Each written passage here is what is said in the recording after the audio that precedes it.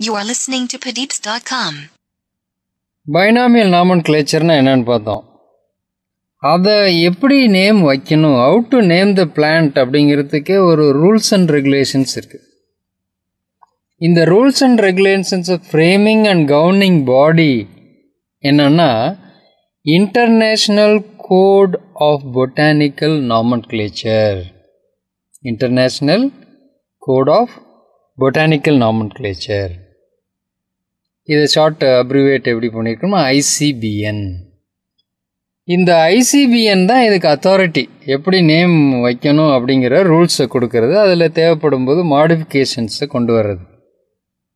இதை பற்றி ஒரு small description nineteen thirty fifth national botanical congress was held in England எதுக்கு? To frame the rules and regulations திருப்பி அதோட டுவெல்த் மீட்டிங் வந்து USSR United States of Russia Lenin கிரேடில் நடந்துச்சு நைன்டீன் செவன்ட்டி ஃபைவ்ல இதை பேஸ் பண்ணி ஐசிபிஎன் ரூல்ஸ் நாமன் கிளேச்சர் ரூல்ஸை அடாப்ட் பண்ணது வருஷம் வந்து nineteen seventy eight so nineteen seventy எயிட்டில் ஃபுல் ஃப்ளெஜ்டாக அந்த ஐசிபிஎன் ரூல்ஸ் ஃபாலோ பண்ண ஆரம்பித்தோம் அடுத்து இந்த ஐசிபிஎன் ரூல்ஸ் அப்படின்னா அதில் இருக்கக்கூடிய முக்கியமான பாயிண்ட்ஸை பார்ப்போம். அதுக்கு பேர் சாலியன்ட் ஃபியூச்சர்ஸ் ஆஃப் ஐசிபிஎன் இந்த எயிட் பாயிண்ட்ஸையும் கம்பல்சரியாக தெரிஞ்சு வச்சுருக்கணும். அடுத்து வரப்போகிற எட்டு பாயிண்ட்ஸையும் you should know by heart ஏன்னா இது வந்து கம்பல்சரி கொஸ்டினில் வரும். இதுக்குள்ளே இருக்கிற சின்ன சின்ன டெஃபினேஷன்ஸ் வந்து டூ மார்க் த்ரீ மார்க் கொஸ்டின்ஸில் வரும். Type specimen author citation ambiguous names tautonym இதெல்லாம் வந்து short answer questions state the salient features of ICBN அப்படின்னா five mark question sometimes are most of the time it's a compulsory கொஸ்டினில் இதுதான் வரும். So அதனால் ரொம்ப கேர்ஃபுல்லாக இதை தரவு பண்ணி வச்சுக்கோங்க. ஃபஸ்ட்டு ரூல் என்ன சொல்லுது?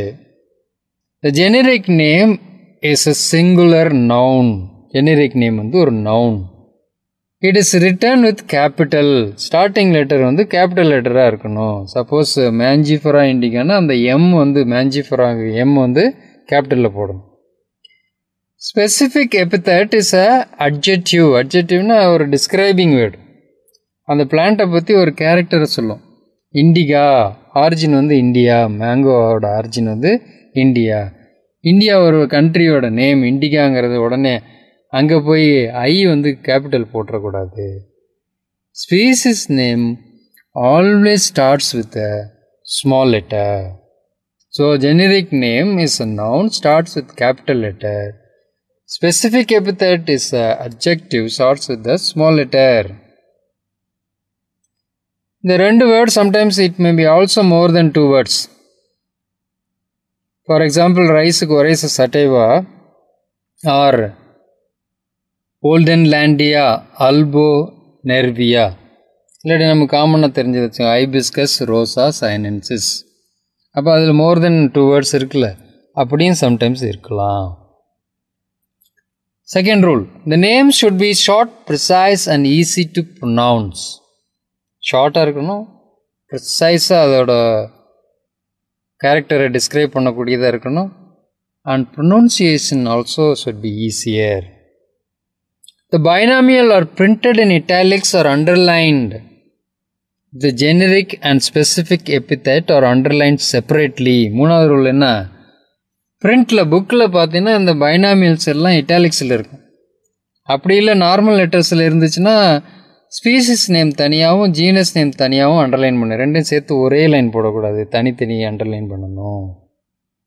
அடுத்தது ஃபஸ்ட் டைம் ஒரு பிளான்ட்டுக்கு வந்து புதுசாக டிஸ்கிரைப் பண்ணி அது ஒரு புது ஸ்பீசிஸ்னு ஐடென்டிஃபை பண்ணி அதுக்கு நேம் கொடுத்துட்டோம்னா அந்த டிஸ்கிரிப்ஷனுக்கு யூஸ் பண்ண specimen herbarium preparation of that பிளான்ட்னோ should be preserved in the recognised herbarium அந்த ஸ்பெசிமனுக்கு பேர் என்ன? டைப் ஸ்பெசிமன் ஹெர்பேரியம் சீட்டில் இதை ப்ரிசர்வ் பண்ணணும். புதுசாக நேம் கொடுக்குறோம்னா அந்த பிளான்ட்டோட specimen herbarium preparation should be maintained in a recognised herbarium அந்த first specimen based on which the character is described is called type specimen இது நாலாவது டைப் ஸ்பெசிமென்கிறது நாலாவது point rule now rule number four rule number five the person who publish the description of any plant for the first time can give his name at the end of the binomial. அப்படியே பு- முழு பேரையும் எழுத முடியாது. Abbreviated letters can be given at the end of the binomial அப்போ இந்த பேரை யார் கொடுத்தது இந்த பிளான்ட்டுக்கு அப்படிங்கிறது நமக்கு தெரிய வரும். அது மாதிரி for example Linnaeus capital L dot மட்டும் கொடுக்குறோம். அல்லது எல்ஐஎன்என் டாட் அப்படின்னு கொடுத்தா இந்த பிளான்ட்டுக்கு லின்னேயஸ் பேர் வச்சார். அப்படிங்கிறது தெரியும். ராபர்ட் ப்ரவுன் அப்படின்னா R dot B R dot அப்படின்னு கொடுத்தோம்னா ராபர்ட் ப்ரவுன் அப்படின்னு தெரிஞ்சுக்கும் இது மாதிரி பேரோட பைனாமியல் எண்டில் abbreviated form of the author of the name can be given that is called author citation it is known as author citation ஆதர்னா யார்? இந்த பிளான்ட்டுக்கு டிஸ்கிரைப் பண்ணி புதுசாக பைனாமியல் கொடுத்தவர்.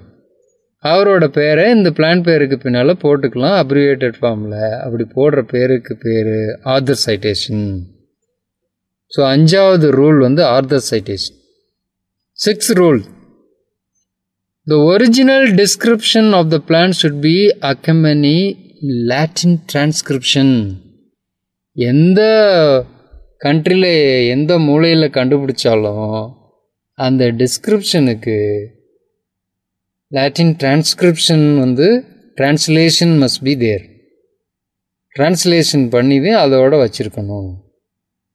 சப்போஸ் ஒரு தவறான நேம் கொடுத்துட்டோம். ஐடென்டிஃபை பண்ணதில் கேரக்டரைஸ் பண்ணதில் கொஞ்சம் மிஸ்டேக் நடந்து ஒரு பேர் தவறாக வச்சுட்டாங்க. இப்போ name is given from a source of error it is recorded as ambiguous name தவறான பேர் வச்சுட்டா அதுக்கு பேர் அம்பிகுவஸ் நேம் இதை எப்படி சொல்கிறோம் nomen ambiguum nomen ambiguum is a wrong naming that is from a source of error so it is completely ignored from use அந்த பேரை வந்து கம்ப்ளீட்டாக தூக்கிடுவோம். அதை எங்கேயுமே மென்ஷன் பண்ண மாட்டோம்.